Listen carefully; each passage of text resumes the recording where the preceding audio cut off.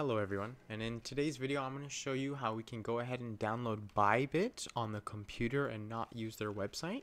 So first we're going to want to go to their website, which is just bybit.com. And then once we get to their actual website, at the top right there's going to be a little download icon. We're going to want to click on the more download options.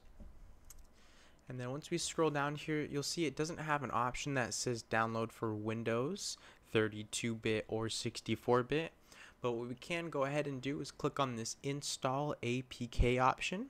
When you go ahead and click on this, you can run it on an Android system, which the Windows platform would be, allowing you to then go ahead and access that Bybit application. And some people prefer the application over the website just because it's a little bit more simple um, other than that, that's everything for this video. I hope you enjoyed. Please do give it a like and subscribe, and I hope you have a great day.